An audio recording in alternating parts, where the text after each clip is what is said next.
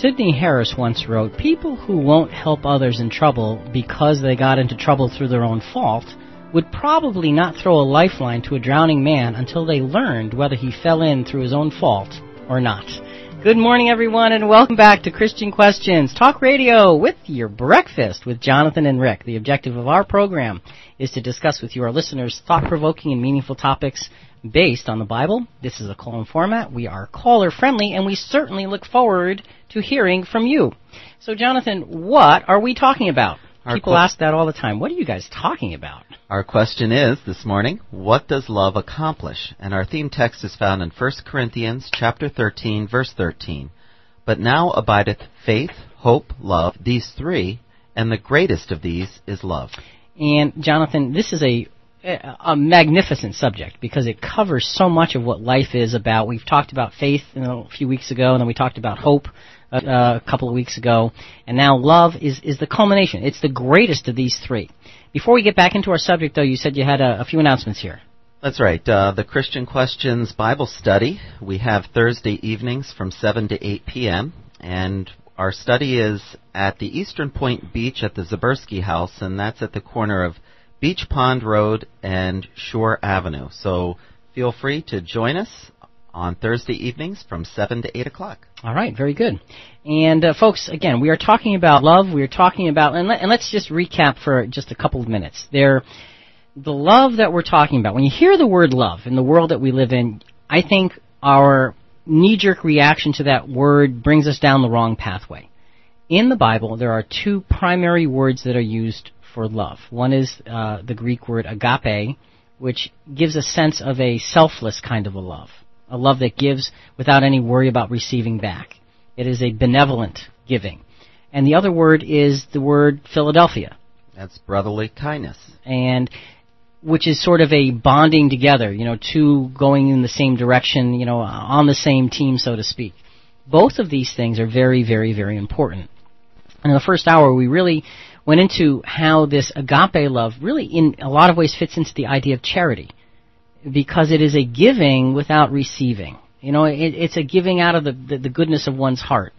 And uh, we, we talked about having that giving, that love based on something significant and solid. We talked about how Jesus himself said that God has loved me in this way. I have loved you in this way. You now should love one another in this way. This selfless giving kind of love. So we were framing that in the first hour. We ended the first hour talking about the relationship between a husband and a wife, and how the uh, in in our world, everybody when, when they get married, one of the things they want from that marriage is to live happily ever after. Of course. I mean, I would imagine that's what you, if you, and if you don't want a happily ever after, why are you getting married? There's, there's something really wrong with that picture. That's another program, okay? but you know, with the, with the happily ever after idea, in order to attain that, this, the scriptures actually give us a tremendous uh, formula. Uh, formula for getting to the happily ever after. And it says that a wife should be subject to her husband. It's like, whoa, that's not going to go over too well today. Go try to say that on a street corner and see what happens to you. But it also says that the husband should love his wife as Christ loved the church. Whoa. And that's a powerful, that's one powerful kind of love, brother. it, it's the kind of a love that goes beyond the, the, the, the, the friendship. It goes beyond the bonding. It is a, it is a love that cares for you uh, and is willing to, to die for you. That's and, and that's that's the sacredness of this relationship. So we were talking about how if we could get back to framing relationships this way, uh, instead of framing them around sex, life would be so much better. Sex is interesting, is, is dealt with in the scriptures. We read the 1 Corinthians 7, 1 to 9 at the end of the first hour, and the word love was never used in its description. And the reason is because sex is a passion. It is, it is it, comes out of, uh, belongs coming out of love. But it is not love in and of itself. It is an expression. And the fact that we get this so backwards in the world in which we live puts us in a position where most people who get together end up apart. They won't get happily ever after because they're doing it wrong. And you can't expect to get the right result when you put the wrong ingredients in. It just doesn't work. So that's where we've gotten to this fa- thus far.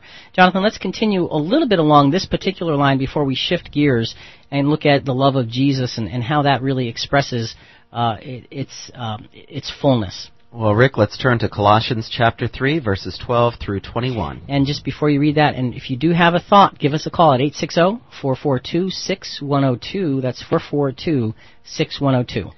Put on, therefore, as God's elect, holy and beloved, a heart of compassion, kindness, loneliness, meekness, long suffering, forbearing one another, and forgiving each other.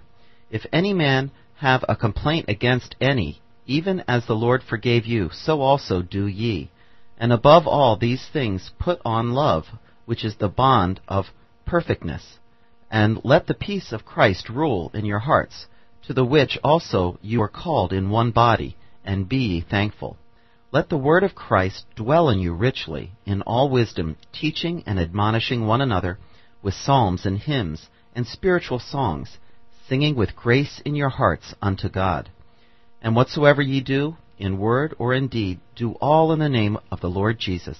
Give thanks to God the Father through him. Wives, be in subjection to your husbands, as it is fitting in the Lord. Husbands, love your wives, and be not bitter against them. Children, obey your parents in all things, for this is well pleasing in the Lord. Fathers, provoke not your children, that they be not discouraged. So again, Jonathan, there is a number of admonitions here along the lines of relationships, human relationships, and how love fits into these human relationships, and it gives a it gives an order of things. Now here's a news flash for you. There's an order given that if we follow, life will be better. It's really simple. The instruction manual has arrived. yes, it has. and it is readable and it is understandable and it does make great, great sense. And in, in this, in this putting things in order, it talks about, first of all, general relationships. But it says, uh, put, uh, where does it say? And above all, these put on love, which is the bond of perfectness. And that word for love is that selfless love. So it, it's framing all of these admonitions in the context having this selfless love for one for another. Mentions the husband wife thing again.